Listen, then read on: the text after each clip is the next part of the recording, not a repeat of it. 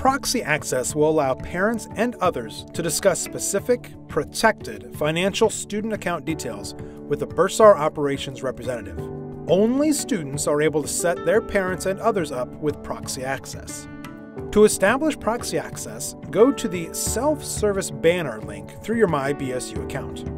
The Proxy Access tab will take you to Proxy Management, where you will create proxy access for your parents and others. The Add Proxy link is where you will add information for each person you want to authorize.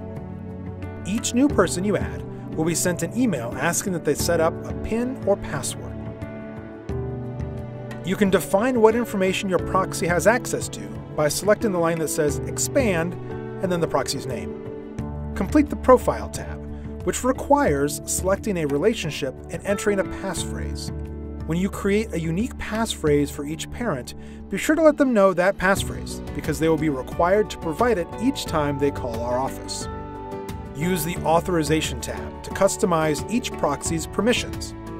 With each conversation, Bursar will verify the proxy has been granted permission for verbal conversations with Bursar.